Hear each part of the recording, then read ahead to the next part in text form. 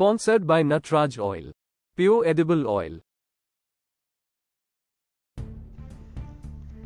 वारंगल जिला निर्वाचन क्षेत्र के 90 प्रतिशत गरीब लोगों के विकास के लिए मंत्री केटीआर के सहयोग से मुख्यमंत्री केसीआर, वारंगल पूर्व के विधायक नन्न पनीनी नरेंद्र ने कहा कि नव समुदाय का हर तरह से विकास किया जा रहा है वारंगल पूर्व निर्वाचन क्षेत्र तेरहवें डिवीज़न एम एच नगर में विधायक नन्न पुनीनी नरेंद्र जेबी अठावन उनसठ के माध्यम से गुरी सेवों को 20 साल की सेवा नहीं देंगे।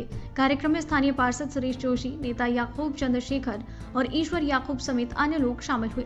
इस अवसर पर विधायक नरेंद्र ने पार्षद सुरेश जोशी के साथ लाभार्थियों को इंदिला पट्टा गृह लक्ष्मी और बथुकम्मा साड़ियाँ वितरित की।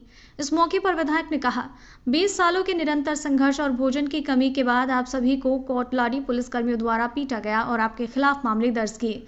उन्होंने कहा, मैंने आपके 20 वर्षों के सपने को साकार किया। जब वो मेयर थे, तब यहाँ के लाल झंडे वाले नेताओं ने वादा किया था कि वो सरकार से बात करेंगे। अगर वो कहेंगे कि ये लड़ाई हमारी वजह से नहीं होनी चाहिए तो वो सरकार से बात करेंगे और उन्होंने आज वो वादा निभाया है। उन्होंने कहा कि हमने वादे के अनुसार मकान नंबर, बिजली, सड़क जैसी सभी सुविधाएँ मुहैया कराई। मैं एक लॉरी ड्राइवर का बेटा हूँ। हम अपने पूर्व विधानसभा क्षेत्र में अच्छी स्वास्थ्य सेवाएँ उपलब्ध करवाने के लिए 1250 करोड़ रुपए से 24 मंजिला इमारत बना रहे हैं। सभी सुविधाओं के साथ अच्छा इलाज।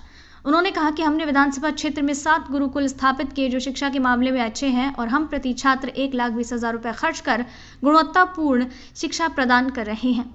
तेलंगाना वारंगल नवभारत समाचार से कैमरामैन महेंद्र के साथ अक्रम की रिपोर्ट।